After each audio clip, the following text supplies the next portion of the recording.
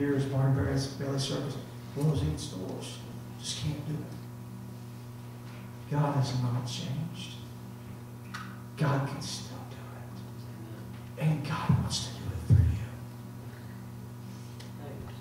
No music, no fanfare, nothing but the people of God finding a place around the altar and saying, God, I want your appetite to be satisfied.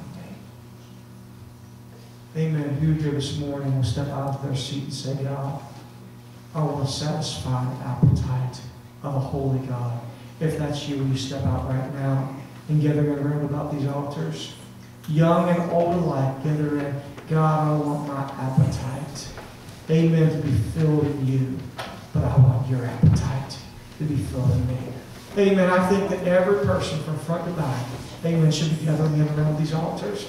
Amen. It's simply stepping out and saying, God, work and move in me. Would you gather in? Would you pray this morning? God, amen. I want to fulfill your holy hunger. Amen. May your appetite be filled.